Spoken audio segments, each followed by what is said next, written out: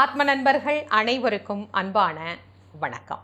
நம்முடைய ஆத்மஞான மையம் யூடியூப் சேனல்ல தொடர்ந்து நம்ம பல பதிவுகள் பார்த்துட்டு இருக்கிறோம் இன்னைக்கு நம்ம பார்க்க போறது இறைவனுடைய திருவுருவ படங்கள் உடைந்து விட்டால் அதை என்ன செய்வது அப்படிங்கிறத பத்தி. ரொம்ப காலமா நிறைய பேர் இந்த சந்தேகத்தை கேட்டுக்கிட்டே இருக்கிறீங்க. மா படம் உடஞ்சி போச்சுன்னா அதை என்ன பண்ணுறது இல்லைன்னா ரொம்ப காலமாக பல தலைமுறையாக நாங்கள் வழிபட்ட ரொம்ப பழைய படம் உள்ளெல்லாம் அந்த படம் செல்லரிச்சு போச்சு. அப்படின்னா அதை என்ன பண்ணுறது இந்த மாதிரி தெரியாமல் பரன் மேலே ரொம்ப காலமாக வச்சுக்கிட்டே இருக்கிறோம். இந்த மாதிரி வீட்டில் இதை வச்சுக்கலாமா?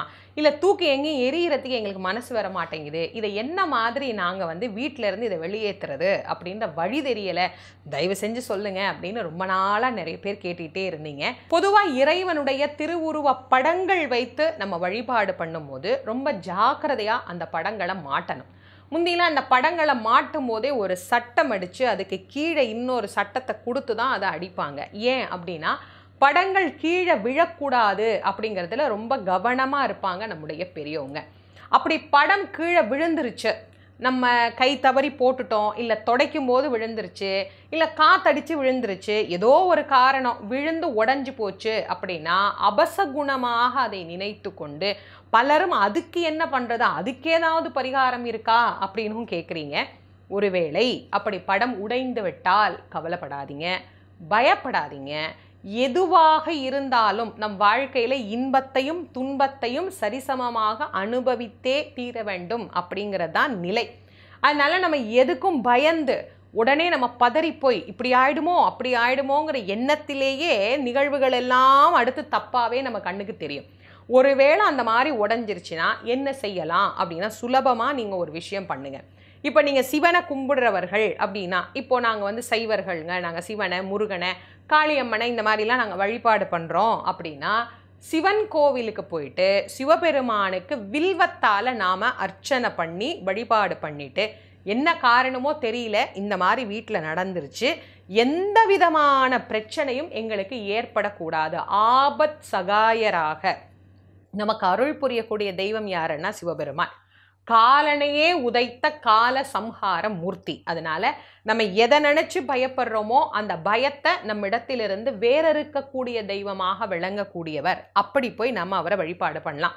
நாங்கள் நாராயணரை வழிபடுறோங்க. எங்களுக்கு பெருமாள் தான் குலதெய்வம். நாங்கள் பெருமாள் கோயிலுக்கு தான் போவோம். சக்கரத்தாழ்வாரை தான் கும்பிடுவோம். நரசிம்மரை தான் நாங்கள் வழிபாடு பண்ணுவோம். இந்த மாதிரி பெருமாள் தொடர்பான தெய்வங்கள் தான் எங்கள் குடும்பத்து வழக்கத்தில் நாங்கள் வழிபாடு பண்ணுறது அப்படிங்கிறீங்களா? நேராக நாராயணர் கோவிலுக்கு போங்க. துளசியால் சுவாமிக்கு ஒரு அர்ச்சனை பண்ணுங்க. எந்த விதமான கெடுபலன்களும் எங்கள் வீட்டில் ஏற்படக்கூடாது அப்படின்னு அவர்கிட்ட பிரார்த்தனை பண்ணிட்டு வாங்க. சரிம்மா இப்போ கோவில் இல்லை. வீட்டில் தான் நாங்கள் வழிபாடு பண்ணுறோம் என்ன பண்ணலாம்? வீட்டிலையே சிவபெருமானுக்கு வில்வம் துளசி இது ரெண்டுமே நமக்கு கிடைக்கக்கூடிய பொருள் தான் அதனால் வீட்டிலையே இந்த வழிபாட்டை நம்ம பண்ணிக்கலாம். சரி ஏற்கனவே உடஞ்சி போச்சு. அதெல்லாம் எடுத்து நாங்கள் எல்லாத்தையும் கட்டி ஒரு பையில் போட்டு வச்சுருக்குறோம். இதை என்ன பண்ணலான்னா பொதுவாக எல்லாரும் பண்ணுற ஒரே ஒரு விஷயம் என்னென்னா எடுத்துட்டு போய் கோவிலில் வச்சுட்டு வந்துடுவாங்க இப்படி கொண்டு போய் இந்த படங்களெல்லாம் நம்ம கோவிலில் வச்சுட்டு வந்துடுறோமே அந்த கோவிலில் இருக்கக்கூடிய சிவாச்சாரியார்கிட்ட பட்டாச்சாரியார்கிட்ட பூசாரிக்கிட்ட பூசாரி என்னைக்காவது நம்ம கேட்டிருக்கிறோமா இதெல்லாம் என்ன பண்ணுறீங்க சாமி? அப்படின்னு. இதெல்லாம் எத்தனை தடவை சொன்னாலும் புரிய மாட்டேங்குது. இப்படி அசர்ற நேரத்தில் கொண்டு வந்து வச்சுட்டு போயிடுறாங்க. அப்படின்னு அவங்க பல பேர் புலம்பி நிறைய முறை நிறைய பேர் என்கிட்ட சொல்லியிருக்கிறாங்க. அம்மா தயவு பண்ணி இப்படி மேடையில் பேசும்போது நீங்கள் சொல்லுங்கம்மா இந்த மாதிரிலாம் பண்ணக்கூடாது அப்படிங்கிறத. இதை கோவில் வாசலில் வச்சுட்டு வர்றது. அதுக்கப்புறமா கொண்டு போய் அரச மரத்தடியில் பிள்ளையாரெலாம் எங்கேயாவது இருக்கிறாருன்னு வச்சுக்கோங்க. அங்கே கொண்டு போய் இந்த உடஞ்ச படத்தையெல்லாம் வச்சுட்டு வந்துடுவாங்க ஒரு விஷயம் நீங்கள் யோசிச்சிங்களா? நம்ம வீட்டில் வச்சு வழிபட முடியலை அப்படிங்கிற நிலையில் இருக்கிற இந்த படங்களை கொண்டு போய் நம்ம இந்த மாதிரி இடத்துல வச்சுட்டு வந்தோம்னா அங்கே இருக்கிறவங்க என்ன இதை கும்பிடவா போகிறாங்க இல்லை தானே. அப்போ அந்த இடத்துலையும் கொண்டு போய் அதை வைக்கிறது தவறு. என்னம்மா பண்ணுறது எங்களுக்கு இப்படித்தானே சொல்கிறாங்க பக்கத்து வீட்டில் கேட்டோம் எதிர்த்த வீட்டில் கேட்டோம் எங்கள் அம்மாட்ட கேட்டேன் மாமியார்கிட்ட கேட்டேன் உடஞ்சிருச்சு என்ன பண்ணுறதுன்னா கொண்டு எங்கேயாவது ஒரு கோயிலில் வச்சிரு. முதல்ல எல்லாரும் சொல்கிற விஷயம் இதுதான். அப்படி நம்ம செய்யக்கூடாது. சரி வேற என்னதான் செய்கிறது இந்த படத்தை அப்படின்னா தூக்கி எங்காவது நீர்நிலையில் போடுன்னா எல்லா ஊர்லேயுமா தண்ணி அப்படியே பாலாரும் தேனாரும் ஓடிட்டு இருக்குது நமக்கு. தண்ணிலாம் ஓடுறது கிடையாது. அப்படியே ஓடுனாலும் இதை தண்ணியை தூக்கி போட்டு நீர்நிலைகளையும் குப்பையாக்கக்கூடாது அப்படிங்கிறத நம்ம ரொம்ப தெளிவாக ஞாபகத்தில் வச்சுக்கணும். நீர்நிலைகள் பாதுகாக்கப்பட வேண்டிய இடங்கள். அங்கேயும் கொண்டு போய் நம்ம எல்லாத்தையும் போட்டு போட்டு போட்டு இதை குப்பையாக்குறது அப்படிங்கிறதும் தப்பு. சரி இதெல்லாம் என்னைக்காவது ஒரு நாள் கடலில் போட்டுடலாம் அப்படின்னாவது நாங்கள் வச்சுருந்தோம். நீங்கள் அதுவும் போடக்கூடாதுங்கிறீங்களே சரி இதை என்ன தான் பண்ணுறது அப்படின்னா விசர்ஜனம் அப்படிங்கிற ஒரு விஷயத்தை பற்றி நம்ம பெரியவங்க நமக்கு நிறைய பேசியிருக்கிறாங்க. பொதுவாக இந்த மாதிரி நடந்தது அப்படின்னா அதை எப்படி நாம் விசர்ஜனம் பண்ணுறது விசர்ஜனம்னா அதை அங்கிருந்து நீக்குவது எப்படி அப்படின்னா அதுக்கு எளிமையாக ஒரே ஒரு வழி தான் அது என்ன படமாக இருந்தாலும் சரி. முதல்ல அந்த படத்தினுடைய அந்த சட்டம்னு மேலே போட்டிருப்போம் இல்லையா? ஃப்ரேம் போட்டிருப்போம் இல்லையா? அந்த சட்டத்தை கழட்டிட்டு ஜாகிரதையாக செய்யணும். கீழே ஒரு பேப்பரோ ஒரு துணியோ விரிச்சுக்கோங்க. அந்த சட்டத்தை கழட்டிட்டு கண்ணாடி எல்லாத்தையுமே தனித்தனியாக எடுத்துடுங்க. ஏற்கனவே உடஞ்சி தான் இருக்கும். அதனால் அதை எல்லாத்தையும் மொத்தமாக போட்டு அதை ஒரு பையில் போட்டு நம்ம வீட்டுக்கு குப்பை எடுக்க வர்றாங்க இல்லையா அவங்கக்கிட்ட சொல்லி கொடுத்துருங்க இது கண்ணாடி பொருள் அப்படின்னு. பலரும் பண்ணுற தப்பு என்ன தெரியுமா? அப்படியே குப்பை தொட்டியில் போட்டு எல்லா குப்பையும் உள்ளே போட்டு அதை அப்படியே கொண்டு போய் குப்பையை கொட்டிட வேண்டியது. இந்த குப்பை எடுக்கிறவங்களும் மனிதர்கள் தான் இல்லையா? அவங்க தெரியாமல் என்ன பண்ணிடுவாங்க அதில் கையை விட்டால் பல பேருக்கு கை கிழிச்சு போயிருக்கும். அதனால் நம்ம அந்த தப்பை பண்ணாமல் எப்பயுமே எந்த கண்ணாடி உடஞ்சாலும் கண்ணாடியை தனியாக எடுத்து வச்சு குப்பை எடுக்க வர்றவங்க கிட்ட சொல்லியே கொடுத்துருங்க. இது கண்ணாடிங்க. அதனால ஜாக்கிரதையாக இதை கண்ணாடியை தனியாக போட்டுருங்க அப்படின்னு சொல்லி கொடுத்துடுங்க. இப்போ அந்த சட்டத்தையும் அந்த கண்ணாடியையும் எடுத்து போட்டாச்சு. இப்போ படம் தான் நம்மக்கிட்ட இருக்கும். இந்த படம் எப்படி இருக்கும்னா பின்னாடி அட்டை வச்சுருப்பாங்க. அப்படி இல்லைன்னா ஏதாவது ஒரு போர்டு மாதிரி ஏதாவது ஒன்று வச்சுருப்பாங்க. அதையுமே நீங்கள் இதோட சேர்த்தே போட்டுடலாம் இப்போ வெறும் பேப்பரில் அந்த படம் மட்டும் பிரிண்ட் ஆனது நம்மக்கிட்ட இருக்குது இதை நீங்கள் என்ன பண்ணலாம் அப்படின்னா சிலர் அதை சுருட்டி வச்சு கடலில் போகும்போது கொண்டு போய் அதை போடுற வழக்கம் இருக்குது இல்லை எங்களால் கடலுக்கெலாம் போக முடியாதுங்க. அவ்வளோ தூரம் நாங்கள் எவ்வளோ காலமாக இதை வீட்டிலே வச்சுருக்கிறது அப்படின்னா நீங்கள் ஒன்றுமே பயப்படவே வேண்டாம். ஒரு பக்கெட் எடுத்துக்கோங்க. அந்த பக்கெட்டில் கொஞ்சம் மஞ்சள் பொடி போட்டுக்கோங்க. கிடைச்சிது அப்படின்னு சொன்னால் அதில் கொஞ்சம் கோமியம் விட்டுக்கலாம். இல்லை கோமியம் எங்களுக்கு கிடைக்காதுங்க அப்படின்னா ஏன்னா இப்போல்லாம் எல்லா நாட்டிலையுமே கிடைக்கிது.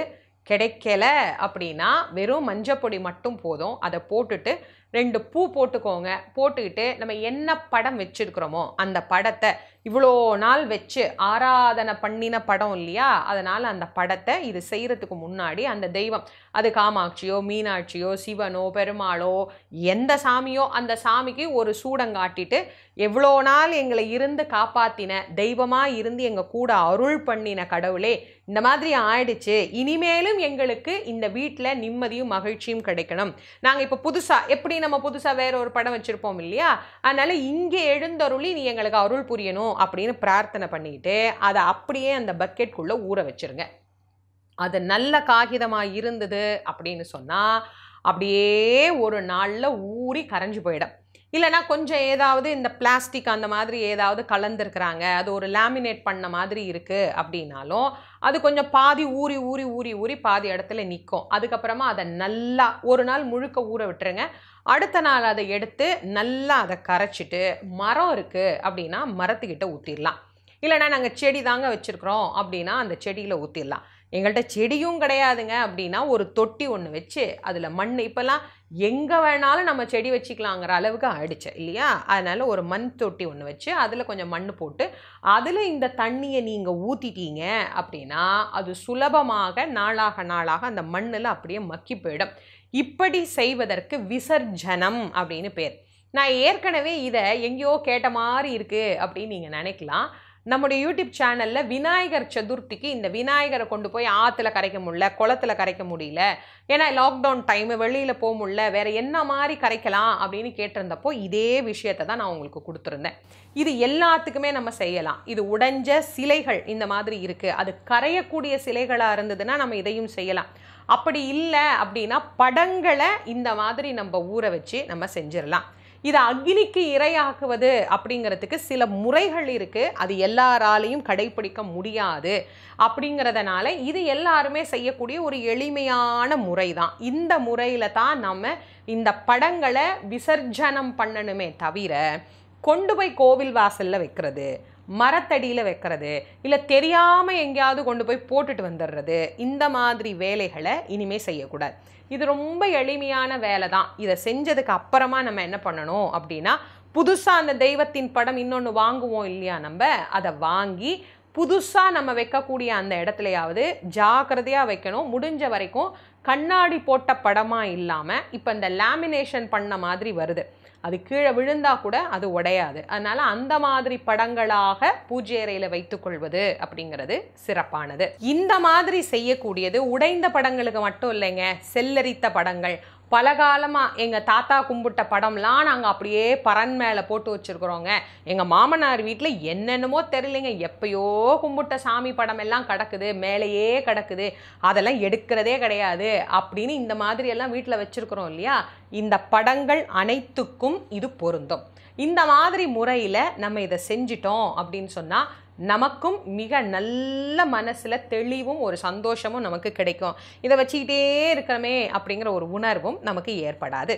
எல்லார் வீட்லேயுமே இப்படி ஒரு பிரச்சனை இருக்கும். இது உங்களுக்கு பயன் தந்த மாதிரியே உங்களை சார்ந்தவர்களுக்கும் இது பயன் தரும் அப்படின்னு நினச்சிங்கன்னா இந்த பதிவை உங்களுடைய நண்பர்கள் உற்றார் உறவினர்கள்னு எல்லோரோடும் பகிர்ந்து கொள்ளுங்கள் நம்முடைய ஆத்மஞான மையம் யூடியூப் சேனலை இது வரைக்கும் சப்ஸ்கிரைப் பண்ணலைன்னா பண்ணிக்கோங்க. மீண்டும் அடுத்த ஒரு ஒரு சிறப்பான பதிவில் உங்கள் அனைவரையும் சந்திக்கும் வரை உங்கள் அனைவருக்கும் நன்றியும் வணக்கமும் கூறி விடைபெறுவது திருமுருக வள்ளல் வாரியார் சுவாமிகளின் மாணவி தேசமங்கேற்கரசி. நன்றி வணக்கம்.